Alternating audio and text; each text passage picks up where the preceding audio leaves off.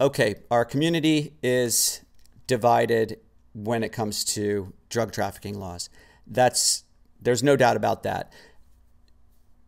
Of course, families of, of users that uh, were injured or killed or, or lost their lives and, and um, made life just a nightmare for, for everybody because they got on these pain pills or died.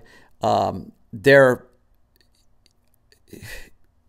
solid advocates for the toughening of drug laws and mandatory min- minimum sentences and lock them up and throw away the key, even if they possess, uh, uh, you know, a handful of pills.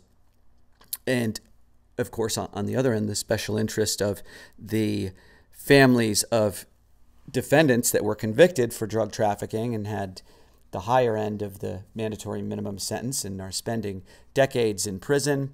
And so these families band together, and there are there are groups pushing to do away with mandatory minimum sentences and the tough drug laws and the and the astronomical sentences that follow what seems to be a small amount of narcotics. Supreme Court Justice Anthony Kennedy said, in too many cases, mandatory minimum sentences are unwise and unjust.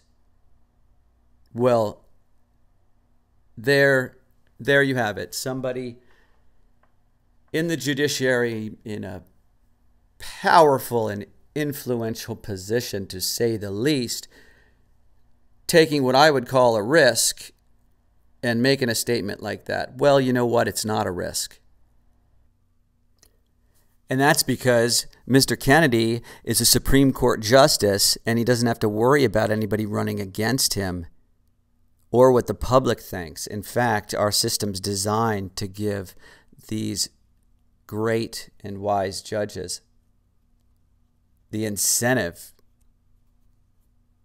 to speak out, to write opinions, even if it's not favored. But on the other side of the coin, when it comes to politics, when it comes to government,